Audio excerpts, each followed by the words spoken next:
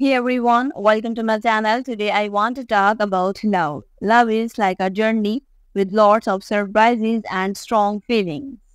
Even if two people go different uh, ways, their hearts can still feel connected.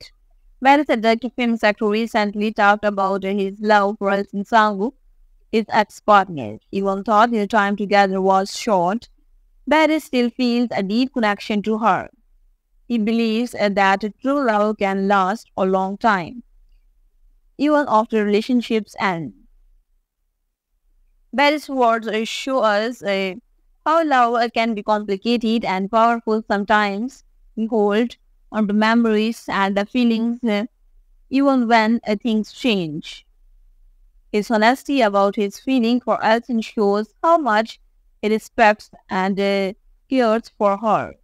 Their story reminds us that uh, love is unpredictable.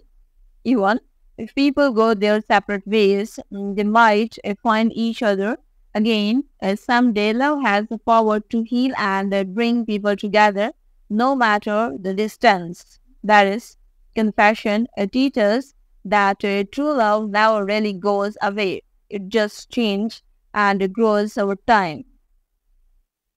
He wants us to think about the beauty and the complexity of love and uh, how our hearts can guide us, even when our minds move on.